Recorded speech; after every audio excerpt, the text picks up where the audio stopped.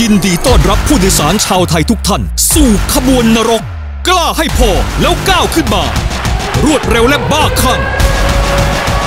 เหมือนเกิดขึ้นจริงขนลุกทำลายสถิติบ็อกซ์ออฟฟิศเกาหลี เปิดตัววันแรกสูงสุดในประวัติศาสตร์ Train To Busan ด่วนนรกซอมบี้คลั่งแล่นไปข้างหน้าด้วยความระทึกสูงสุด